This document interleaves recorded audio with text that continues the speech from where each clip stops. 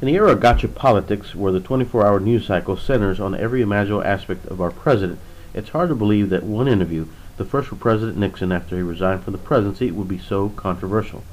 In the Frost-Nixon play, the story centers on the first interview between the flamboyant British pretty boy David Frost and the complex introvert, disgraced former president Richard Nixon.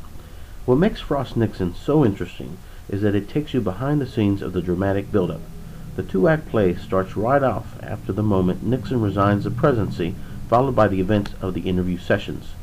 What brought these two characters together was timing and a need for both to reshape their images. What made these interviews more controversial was at the time, in the 1970s, Nixon was paid and the show was marketed and sold way before the word reality TV existed. Topher Payne is a standout of the cast, as he captures the essence of both the bigger-than-life but vulnerable David Frost. Don't miss a chance to see firsthand what the fuss was about in the Frost-Nixon interviews at the fabulous Springer Opera House. Check it out.